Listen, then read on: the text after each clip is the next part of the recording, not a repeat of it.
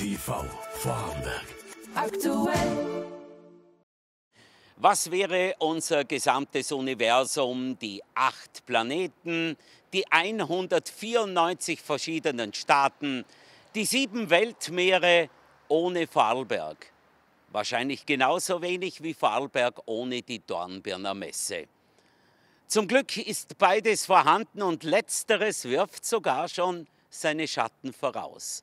So öffnet die Herbstmesse in Dornbirn in Kürze bereits zum 69. Mal ihre Tore und wir wollen Sie heute bereits informieren, was Sie dort ab dem 6. September fünf Tage lang erleben können.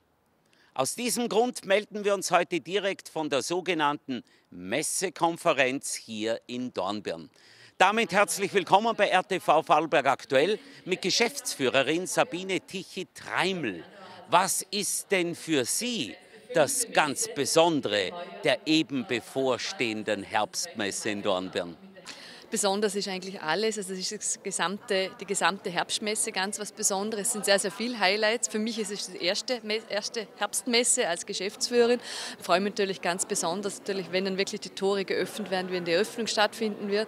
Aber wir haben sehr, sehr viele Highlights. Es ist für jung und alt, für alle Generationen eigentlich sehr viel dabei und das freut uns natürlich ganz besonders. Und genau dieser Mix und die Themenvielfalt des heurigen Messeangebots lassen keine Wünsche offen.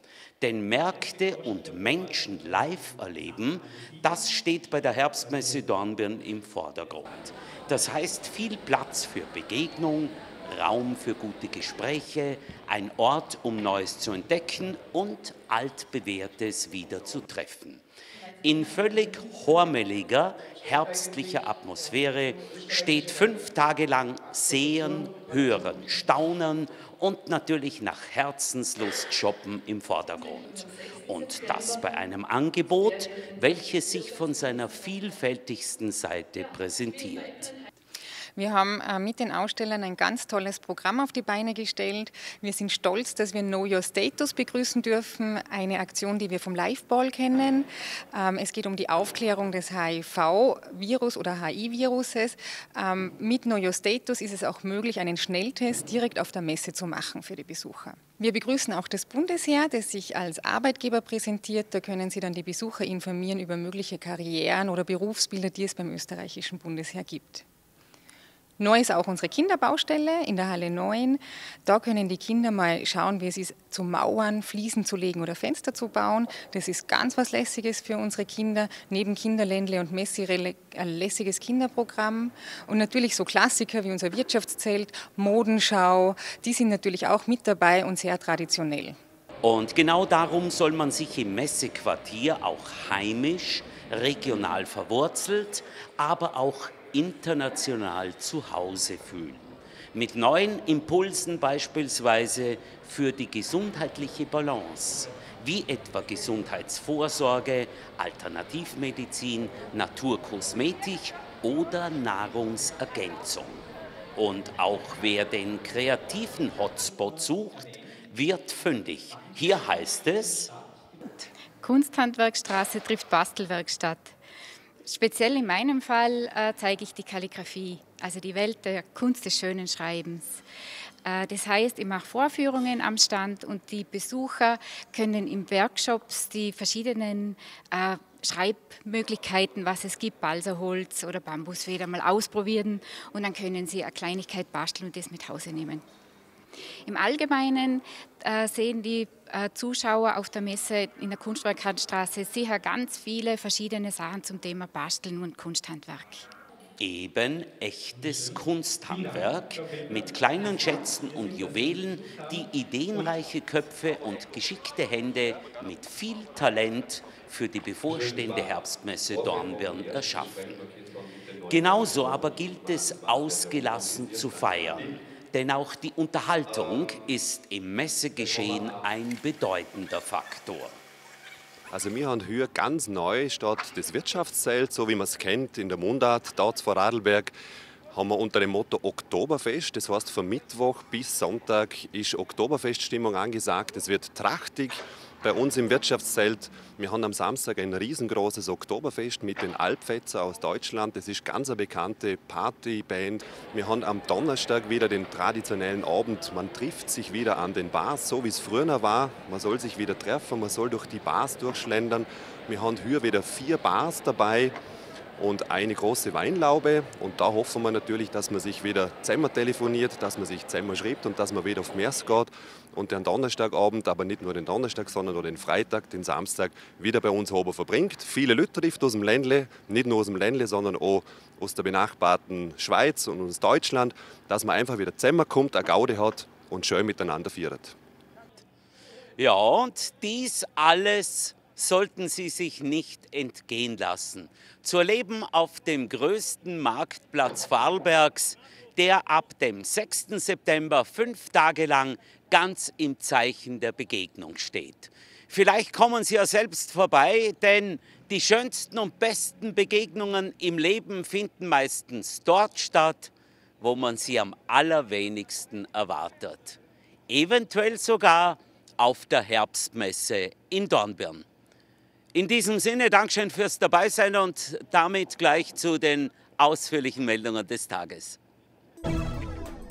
Für eine verbesserte Vereinbarkeit von Familie und Berufsleben werden von Landesseite vielfältige Maßnahmen gesetzt. Eine davon ist die finanzielle Unterstützung für das Serviceprogramm Karenz aktiv, das Anfang 2014 von der Arbeiterkammer Vorarlberg gestartet wurde.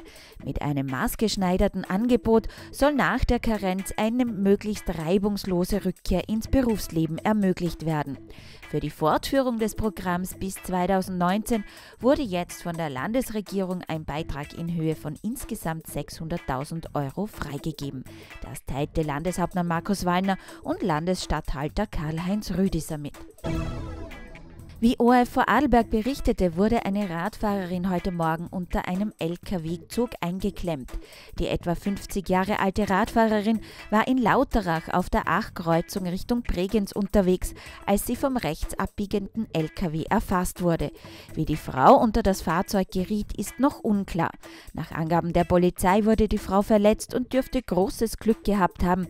Sie wurde ins Krankenhaus Bregenz gebracht. Die beifußblättrige Ambrosie, auch Ragweed genannt, stammt aus Nordamerika.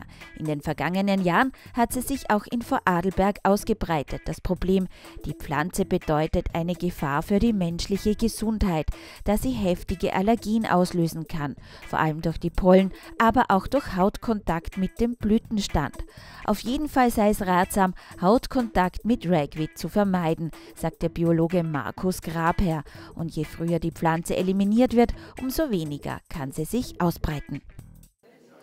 Soweit die aktuellen Informationen an einem für mich sehr schönen Tag im wahrsten Sinne des Wortes, inmitten der Models stehend, die dann auf der Herbstmesse auch für die Präsentation der Modeschau verantwortlich sind. Ob es für Sie wettertechnisch ein schöner Tag wird, das erfahren Sie jetzt im ausführlichen Wetterbericht. Ich verabschiede mich wie immer im Namen von Redaktion und Technik, wünsche Ihnen eine gute Zeit und vor allem gute Unterhaltung hier mit RTV Vorarlberg.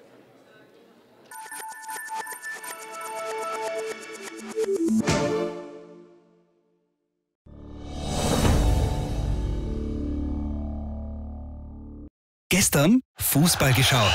Heute früh Fußball geschaut. Am Nachmittag brasilianischen Fußball geschaut. Lampert, Fernsehen schauen, wann und wo du willst. Mit der TV-App Meine Welt unterwegs. Online und mobil bis zu sieben Tage Fernsehen nachholen und 30 Sendungen aufnehmen. Jetzt ab nur 3,90 Euro pro Monat. Alle Infos auf lampert.at.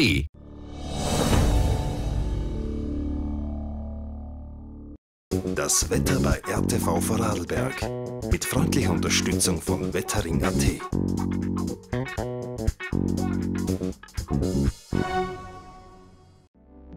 Heute früh gibt es in den Beckenlagen ein paar Nebelfelder. Untertags ziehen dann dichtere Wolkenfelder durch. Am Nachmittag bilden sich über dem Bergland ein paar Quellwolken, welche die Sonne zeitweise abschirmen. Die Temperaturen erreichen bis zu 24 Grad. Am Dienstag dominiert das Hochdruckwetter im Ländle. Die Sonne scheint über weite Strecken an einem nahezu wolkenlosen Himmel. In den Tallagen werden bis zu 25 Grad erreicht. Der Mittwoch bleibt den ganzen Tag recht sonnig mit schwachem Wind. Die Gewittergefahr ist gering, in den Bergen steigen die Temperaturen etwas an. Auch am Donnerstag hält das Hochdruckwetter an. Am Nachmittag entstehen über den Bergen einige Quellwolken. Es bleibt aber warm, bei Höchstwerten von 25 bis 28 Grad.